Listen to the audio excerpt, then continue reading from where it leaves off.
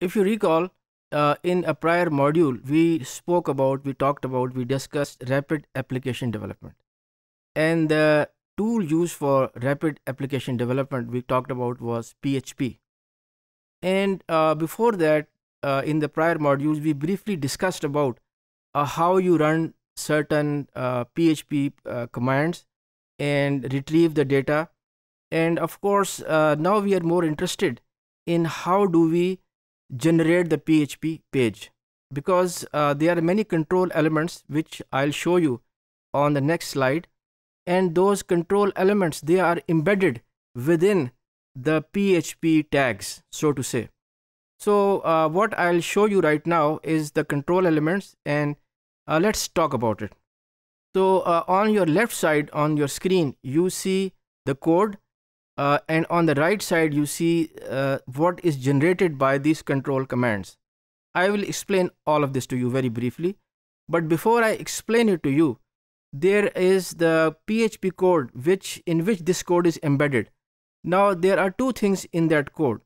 Uh, there are methods and how the data is submitted because all of this the contents of this form they will be submitted to the uh, to the database server to to the web server and it will retrieve the data.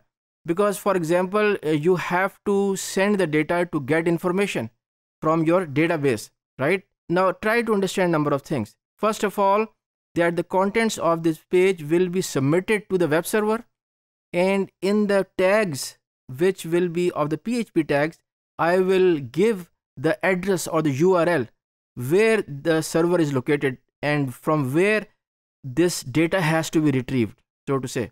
Understand? And in the example which is given in the supporting material instead of the url the name of the page is given. So you understand because uh, we are not right now submitting the data to any server but i believe you understand. So now i will briefly uh, show you those code and its explanation. So this code over here which you can see this this code is for this radio button. So out of these three radio buttons only one will be selected because a person can be of only one category. And then we have this push button. So you can click it click it over here and it will take you.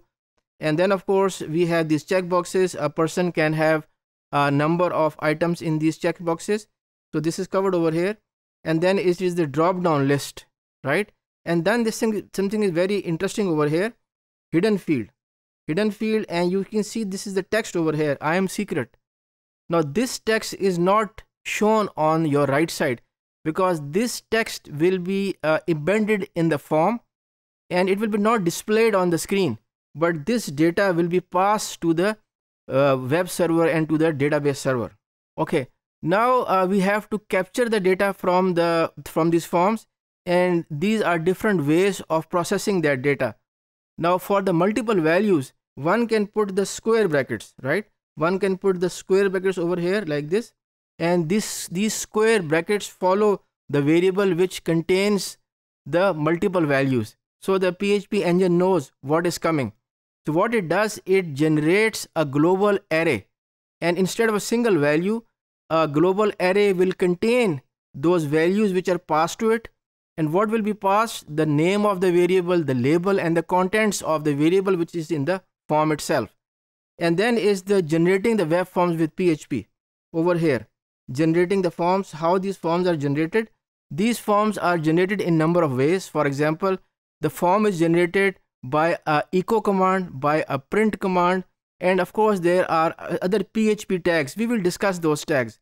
So those tags and those commands they generate the page and then of course there are the variables also. The variables are passed to the php engine. And again as i said those variables corresponding to those variables again a global array is generated.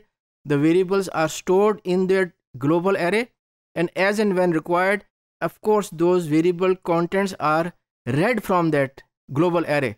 And along with storing whatever is stored the data there are little bits of pieces of information are also stored in that global array so that the retrieval is convenient. All right? Now uh, when you upload this uh, form along with you can upload the files also. Now those files uh, can be uploaded and the size of the files can be limited and those files are stored in temporary folders. Whatever you load, those files are stored in temporary folders and there is a limit to the files because when you upload, you don't want to overwhelm the web server. You don't want to overwhelm the database server because ultimately whatever you upload, it goes into that database server. So the checks are there and the limits are there and that whatever you load that is stored in temporary folders and when it goes into the temporary folders as and when required it is taken out from the temporary folders and it becomes permanent and it is used for subsequent storage. And the last point is the redirection. After the form submission redirection means that when are you going to stop and where it is going to take you. That's about it for this module